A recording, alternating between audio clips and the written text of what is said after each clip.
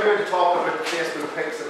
And really what that is, it's, um, it's, help, it's really in relation to Facebook ads. So this is to help you, if you're running ads using Facebook, how you can get the best bang for your bucks. And really what Facebook Pixel does, it allows you to, um, really what we're talking about here is targeting the right people, to ensure that when you run an ad, it's, it's in front of the right people. And the principle behind it being, your, your ad, if you're not talking to the right people, it doesn't really matter how good your offer is, you know, if you're talking to the wrong people, they're just not going to bite. If you're at least talking to the right people, you have a fighting chance of making a sale or getting a conversion. So that's really what we're talking about today, how we can help you achieve that. So that's great, John, you're that profit So what is the Facebook Pixel? Well, really, what it really is, simply is a piece of code that if you run Facebook ads, if you go to your ad manager, you can, there's a, there's a drop-down column there called Pixel, and in there there's a piece of code that's unique to your ad account. And what you want to do is put that on your website. Now, it needs to go on every page between the head tags at the top. Now that's a little bit technical. It's actually quite simple to do. If you have a you know, website developer or whatever, they'll do it in two minutes. But just give them, send them this bit of code. It's on your, um, it's in your ad manager account, and get it on every page. And once that's done, you're kind of up and running. And what happens when you've got that installed is that Facebook will start to build lists of the people that visit your website. And again, going back, what we're trying to achieve here is to ensure that your ads are appearing in front of people that have an interest in what you do. And if somebody was on your website through some on or offline advertising you've done already, then it's reasonable to assume that they are interested in what you do. So that's why we want to put these people in lists, because we want to be able to stay in touch with these people. So that's really what we're about here. It's about building these lists of site visitors so we can leverage that, list ad campaign bigger on. Now, when we talk about the, the Facebook terminology is Facebook audiences and what, and when we create a list, it's not like if you might, you might have email lists where you actually have the email address and the name of the person. When you create a Facebook list, you don't have any of the personal details. You basically have a list that you've given a name to. It could be on-site visitors, and there's a number attached to it, and that could be a thousand, ten thousand, and that number represents the amount of people that are on it. But that's all you know. You have this list, you don't have any personal information, but it's a list you can use for targeting ads. When you create the list, you can decide how long people should stay on it. So you can, the maximum is 180 days. So if you set up a list and say, I want to keep these people on my list for up to 180 days, so 180 days after they first go on that list, they go off it. But you can set the list up for seven days, one day, so anything between one and 180. So you create these lists. That's the kind of dialog box you see in Facebook when you go to create one. And when you have lists created, this is what you see in the back of Facebook. You see the first column is the name, and if you look at the size, that'll tell you how many people are on it. So that's all you know. But you have there, and the sources that you can use these as targets for ads. So how would you kind of implement this? The most basic list that everybody creates initially is a kind of an all sites visitor list. So anybody who visits any part of your website, put them on the list. And once you have them on there, and next you're going to run an ad campaign, you've got budget X, you might take, allocate a certain amount of this budget and say, right, let's at least let's target people who are already on our site. And you can see how this would be useful to you if you've got a new product or service or some more information about the um, about your company and you just want to keep all these people in touch with what's going on so you can maintain your relationship with them. Use this list and you know that these people are going to see your ad in the Facebook newsfeed. So that's kind of useful and that's the kind of most basic one that we create. You know, that's the kind of starting point. But you get, you know, things get better you have your kind of representation of a typical site. You can create lists out of people that visit specific page or pages of your site.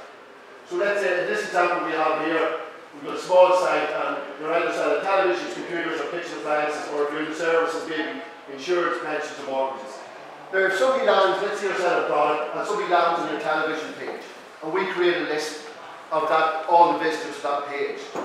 So we run ads to that. So unlike the all-site visitors where we're running general information type ads, now if we want to run an ad for our televisions, we want to ensure that that ad is well received. You would run that ad to the television list. And we know that these people were on our site.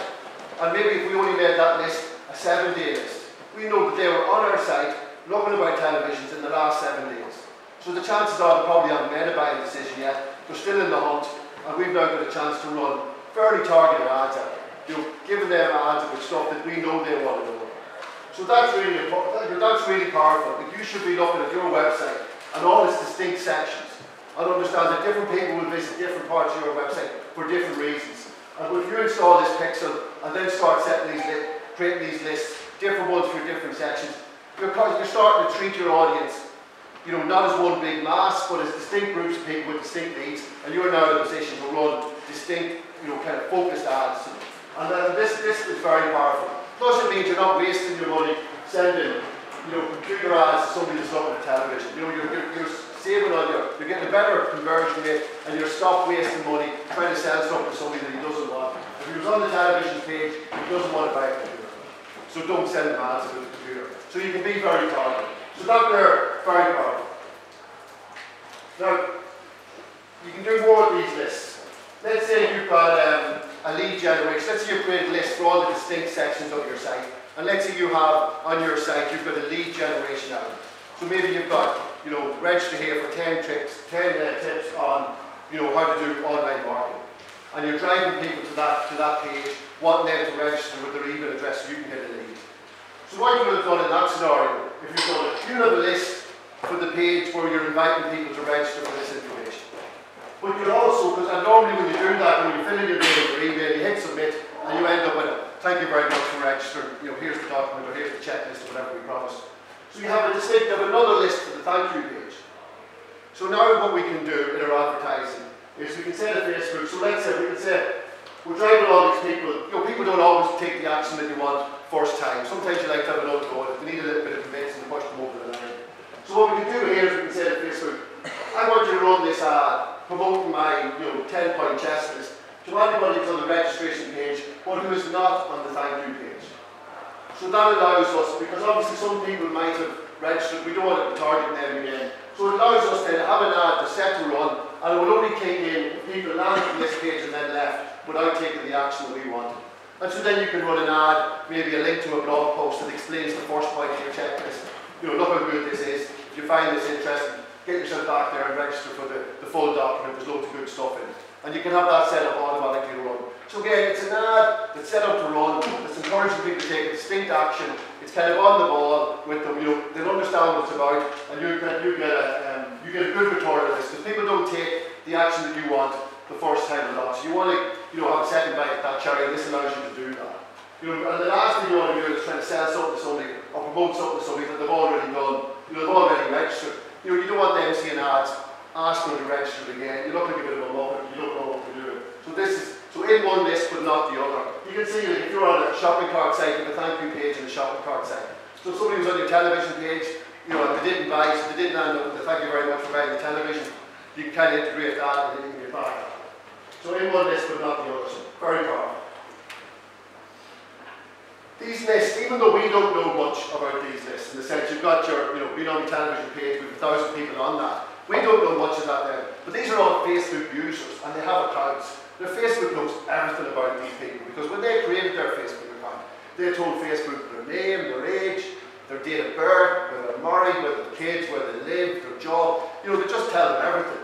Everything you do on Facebook gets added to your profile. Absolutely everything in the US now, Facebook is buying, buying information from credit card companies and uh, companies outside of Facebook, and it's added to the profile. So while we don't know much about the people on the list, Facebook knows everything. It really does. It's started, and this is, you know, in the sense that you know, over the years, like Facebook has been building this for years, and these algorithms are just getting better and better and better. So Facebook knows loads about the people, you know, its members, and how can we leverage that? Let's go back to the example we talked earlier on about, you know, we want people to register for our lead magnet. We've got this 10 checklist, you know, 10 checklists for on successful online marketing. And let's say we're, and we're registering people that are on thank you for registering. So we have a list built up of the people that took the action we want them to take. So this is this distinct group of people. So you run a, you run a campaign targeting lots of people. And then a smaller amount of people click on your ad and land on your register page. And then even a smaller amount of people again actually register. So these are the action takers. These are the people you want more of. You know, these are, you know, these are the ones that are going to add to your bottom line. So you can say to Facebook, to Facebook, when you look at the profile, so I've got a list of a thousand people, and the more, the more people you have on this list, the better, the more data you can give Facebook. But you can say to Facebook, listen Mr. Facebook, I've got a thousand people on that list.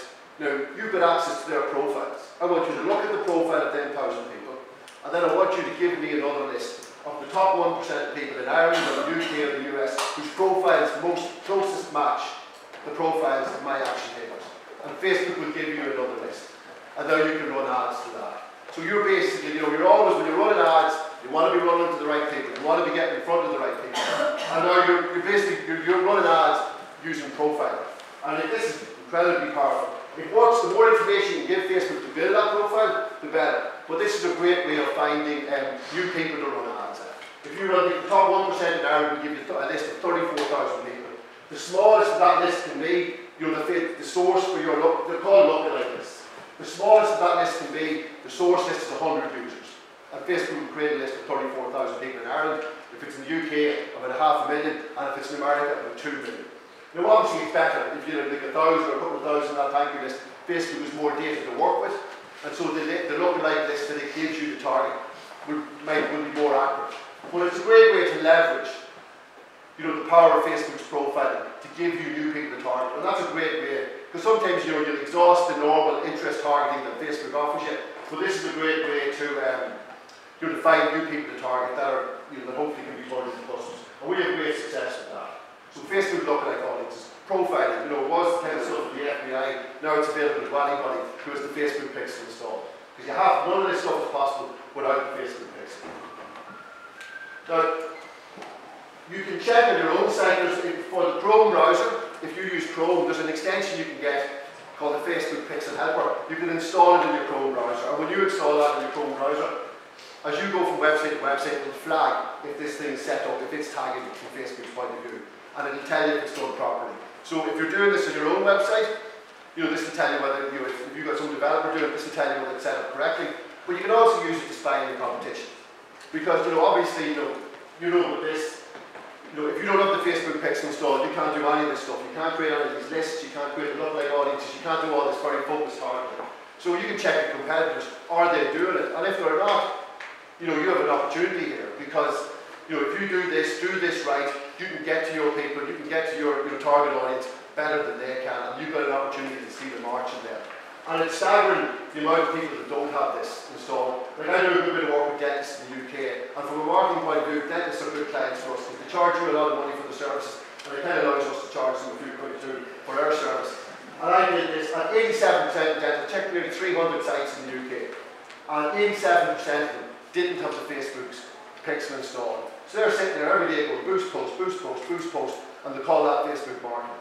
You know, that's in the halfpenny place compared to what you can be doing or whatnot. So if you go to our site, that's probably the longest URL you'll see here today, that will teach you what much I how to check, get the Facebook pixels installed directly on your website. That will tell you how to put in this Facebook pixel helper. So you can check your own website and check the competition to see if um, if to see if they're running the Facebook pixel. You know, get, even if you don't run Facebook ads, install it because until it's installed, it won't start building the data. You know, so it doesn't cost you anything to install it. Get it installed, look at your site, think of the distinct groups, create all the lists, and just let the data build. Because I could have said you keep somebody on the list for 180 days and whatnot. So if you install it today, it'll be 180 days before it's fully. You've got all the information that you could possibly have. So get it installed. And it also allows you to track, once you've got that in there, it allows you to track people across device. Because somebody might come onto your website on a mobile device, but because this is associated with their Facebook account, the next time they're on their PC, we can still track them whatnot. So it's not tied to the device. So that's what we have there. The Facebook Pixel. Get it installed and start running Facebook ads properly. Thank you very much.